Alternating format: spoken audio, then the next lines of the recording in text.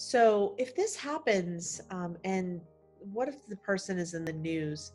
How can they get rid of that embarrassment? Well, uh, again, that that comes right back to our holistic approach, Erica. We address every area of the situation that you find yourself in. We are not a court-only law firm. So you will frequently see on our website, on our Facebook and Twitter accounts, responses to prosecutors' offices trying to try their cases in the media.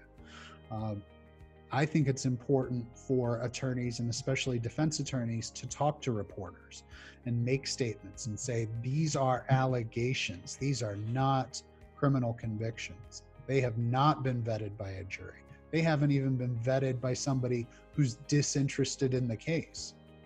So, you can you stop the embarrassment? No, but can you respond to it with a coherent and effective uh, media message?